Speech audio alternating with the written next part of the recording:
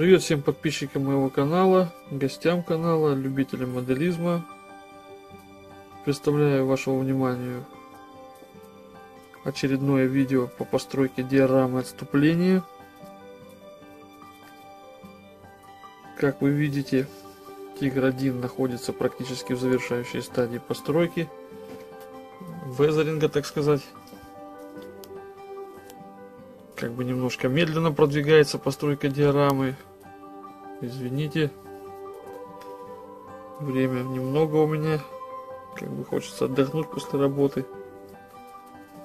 Ну вот сейчас выходные сделаю основную часть работы по диораме по самой. Вчера сделал масляные точки. А сегодня сделал сколы.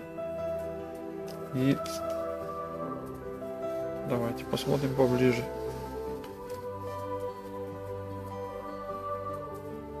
Добавил обвесы. Что остается также по совету комрадов, моделистов как бы решил, ну так, наполовину, можно сказать, проблему с гуслей, там, послушал все советы и перевернул гусли, в общем.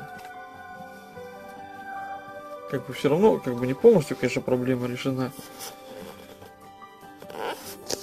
Поближе посмотрим.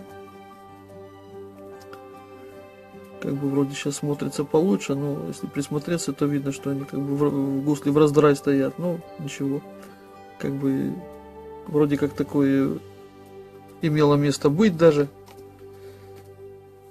Также применим еще пигменты.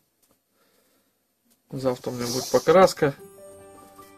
Есть у меня краска Атака Interactive. Это пыль, грязь. Попробую я немножечко из, из аэрографа припылить. Ходовую. Как бы это тоже немножко скроет. Будем надеяться, эти косяки с гуслями. Немножко корпус припалю. Главное не переборщить. Дабы не закрыть эффекты везеринга, которые мы имеем сейчас. Ну вот не знаю, это пока как бы промо-версия. Там вот разместил немецкие каски Вроде как смотрится неплохо. Ну, в комментариях пишите. Канистру откопал там вот. Уже не помню. Какого-то набора осталось. Состаренная канистра. Как раз, думаю, подойдет.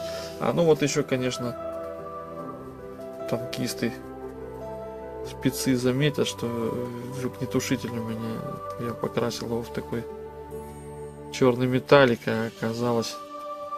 Ну, в принципе, как бы это тоже решаемо, можно и перекрасить. Оказалось, что он должен в базовый цвет, должен быть, короче, в базовый цвет покрашен. Ну ничего, это как модель, так, просто для наглядности. Потому что если в базовый цвет покрасить, то его как бы и особо и видно не будет, а так...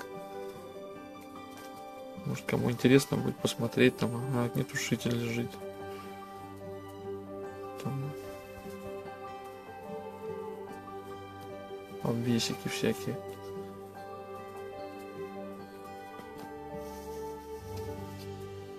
Надеюсь, тоже напишите в комментариях. Надеюсь, со сколами не перегнул. Так, совсем минимум нанес. Примерно там в районе командирского люка. Люка механика водителя. Тут вот радиста там или кто немножко сколов нанес пусть будут еще нужно будет сделать что вот здесь еще пигмента не нанес получается у меня там выхлопные клапана открыты получается там надо эффект закопченности сажей нанести наверное там вот на эти на кожухе, наверное, наверху. На сами вот эти выхлопные клапана. Трубы эти. Можно будет нанести.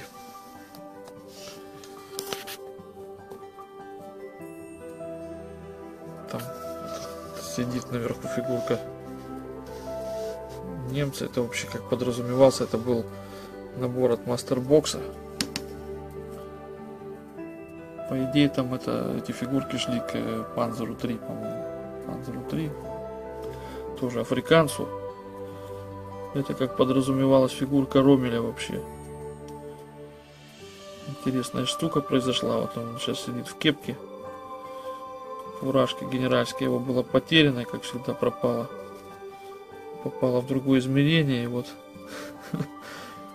выходя из положения, присобачил ему, опять же, из какого-то другого набора кеп, кепку с очками. Танкийскую. У него как должна в руках быть карта. Он в раздумьях. Что же ему делать? Должен сидеть. Но это так, возможно, его там не будет в основной версии диорамы, его там, возможно, и не будет. Что хочу сказать. Фигурки сейчас у меня в работе. Идет шлифовка. Убираю швы. В общем, буду их перекрашивать. Уже говорил об этом. В общем, где-то в ближайшее время, надеюсь, может быть на середине следующей недели, завершу диораму. Завтра покраска будет, основу покрашу, возможно даже уже нанесу на нее. Купил я шпакрил, такую типа шпатлевку нанесу, как основа будет. Чтобы она у меня уже потихонечку подготавливалась. Пока на подходе солдаты. И еще у меня на подходе помимо солдатов должен быть мотоцикл сгоревший, я не знаю. Может подскажете тоже в комментариях мысль, с чего бы он сгорел. Как бы, если попал в него снаряд, там, наверное, мало от него что осталось бы. На мину наехал тоже. Рожки до ножки остались бы. Как бы я хочу, чтобы он вроде как бы и остался. Основная часть его как бы. И в то же время как бы был такой подгоревший, заброшенный, заржавленный.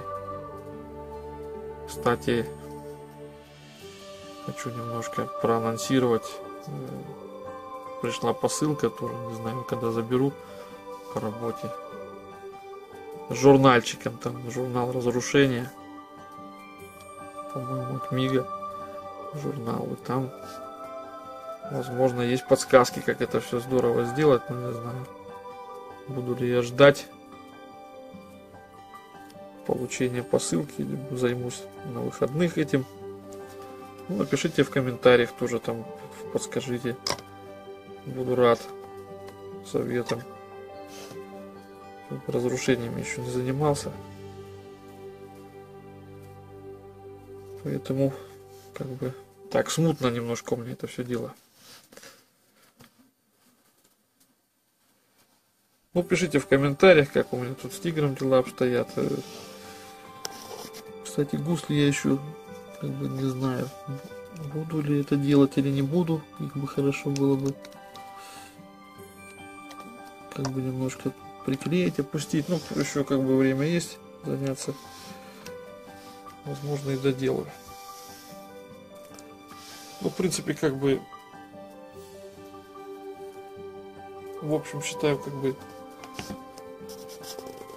в общих чертах, конечно, так у меня сумбурно получилось все это дело, как бы по ходу пьесы, ну, вроде как, вроде удалось. Обгаживание тигра и как бы... Вообще модель интересная.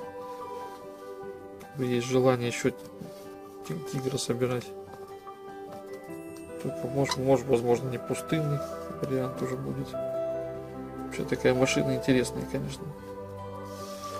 Рекомендую всем моделистам. Это я так посмотрел, это вроде как попса. В стендовом моделизме, моделизме это чтобы надо каждому собрать как что КВ-1, что Тигр-1. Такие танки уже перешли в разряд попсы, можно сказать.